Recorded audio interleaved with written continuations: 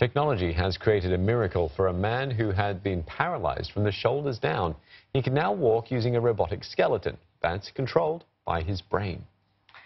This 28-year-old is attached to a rope holding him stable, but what's propelling him forward is his mind with the help of this exoskeleton. It's essentially using a system of sensors implanted near his brain.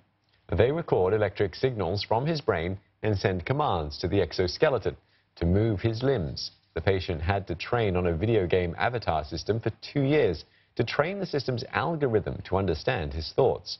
The exoskeleton is a product of a two-year-long trial. Scientists say it's a breakthrough in providing home to those who are trying to regain movement. For example, it could potentially lead to brain-controlled wheelchairs for paralyzed patients. But for now, it's still an experiment and a long way from being a practical application. It is a way forward. You know, science is amazing. Technology does all sorts of things. But we know through the world, and this is the centre of global health at the London School, that only 15% of people have the mobility devices that they need. Um, you know, this wheelchair that I sit in, designed for me, cost £2,000. Um, what we need to do is to make this sort of technology, which transforms lives, available to more people in the developing world.